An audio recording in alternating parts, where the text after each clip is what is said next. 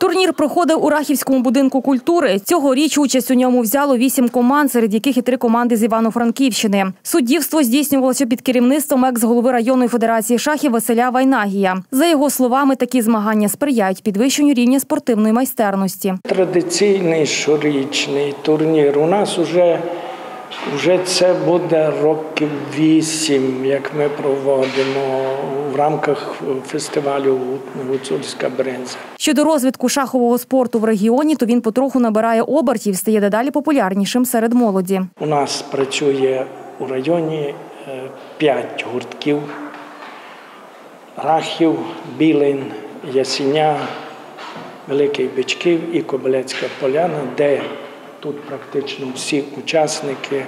Ми проводимо районні дитячі шахові турніри, ми проводимо і швидких шахів, ми проводимо класичні бліці і так далі. Перемогу у напруженій боротьбі здобула команда з Мукачева, яка набрала 12 очок з 14 можливих. За словами капітана команди, їм не дуже щастило вигравати командно, однак цього разу вдалося. У нас дуже молода команда.